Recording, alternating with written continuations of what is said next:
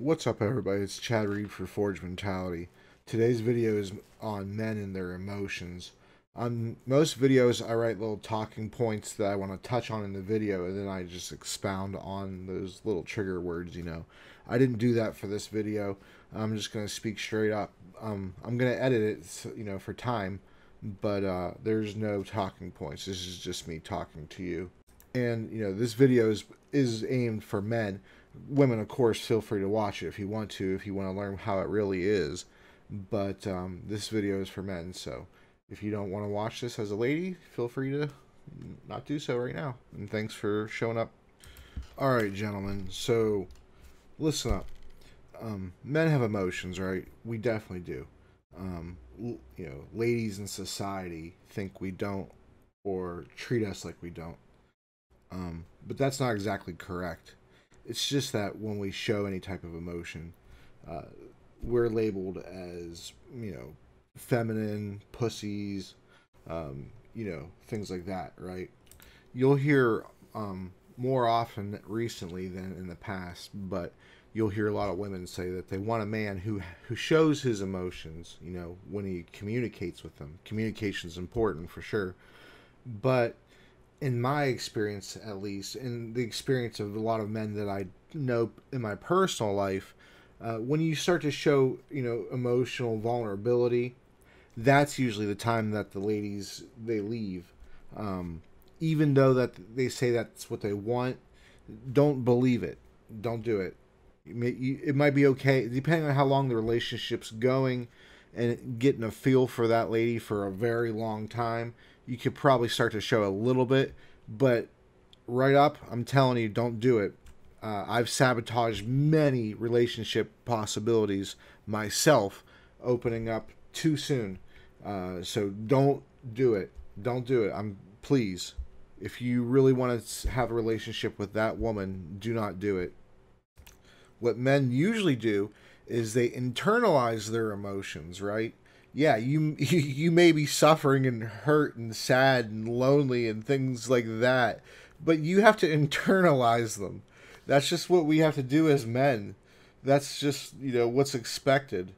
Um, but what you can do is get a group of friends, dudes, get a group of homies, and um, you know you can start to share with them, and that is how you get rid of those those emotions because you can't keep bottom bottling them up forever. You'll give yourself fucking cancer or some shit.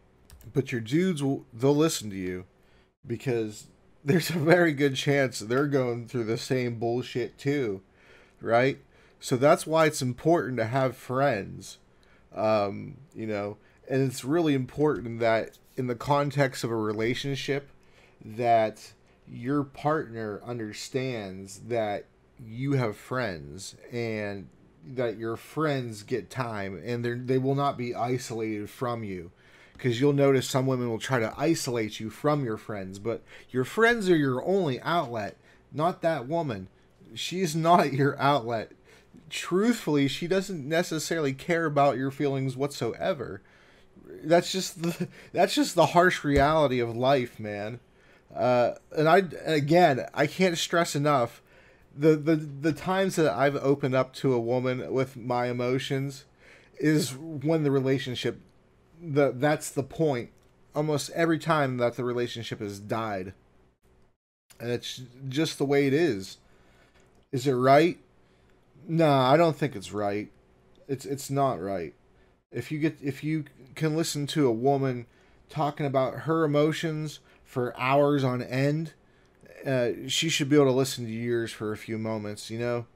I just feel like that's right and that's the common decency thing to do as a person.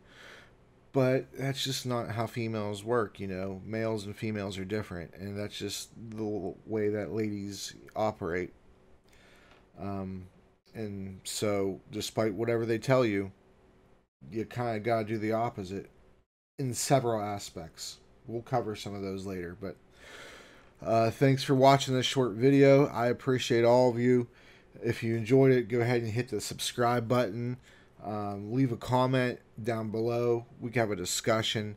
Uh, if you things if you see things differently, then go ahead and let me know that because uh, I want to know other people's opinions. You know, this isn't an echo chamber.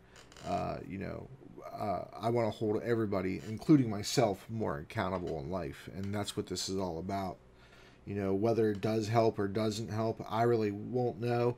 I've already had a few people come to me, you know, online and tell me that it, it is helpful, and that stuff does mean a lot to me. You know, not for my validation, but more for my validation that this is helping other people. Uh, that's more important. So, if you find this useful, go ahead and hit that subscribe button. Till next time, Chad Reed, Forge Mentality. Take care of yourselves.